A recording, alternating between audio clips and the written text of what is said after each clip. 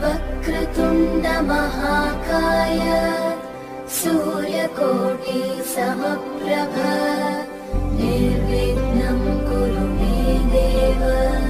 सर्वकारेषु स